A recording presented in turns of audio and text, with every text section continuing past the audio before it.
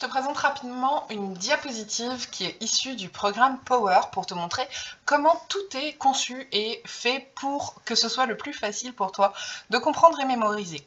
Ici, tu as une vidéo qui est donc face caméra et on peut s'appuyer sur la lecture labiale pour les personnes qui ont des troubles de la concentration et ou du traitement auditif.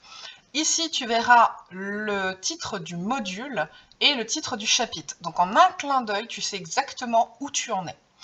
Là, ici, c'est des informations qui reprennent ce que je dis, parfois les complètes, mais essentiellement, ça reprend les points importants. Parfois, il y a des illustrations, j'en utilise assez peu. Là, j'avais pris un screen euh, sur celle-là pour montrer à quelqu'un. Mais euh, tu vas retrouver de quoi compléter, euh, appuyer mon discours de manière visuelle ou alors en reprenant les mots. Là, ici, tu vois cette petite partie jaune, en fait, c'est un indicateur pour moi qui me permet de dire, en dessous de cette ligne-là, je n'écris rien, il n'y a rien ici, pour que les personnes qui utilisent des sous-titres ne perdent pas les informations de la vidéo. Voilà, donc à chaque fois, tu retrouves cette même structure qui te permet d'avoir plus facilement une mémorisation, une concentration et également de t'y retrouver. Voilà, donc j'espère que ça va beaucoup te plaire et j'ai hâte de te retrouver dans le programme Power, sur les réseaux sociaux et tout ça. Salut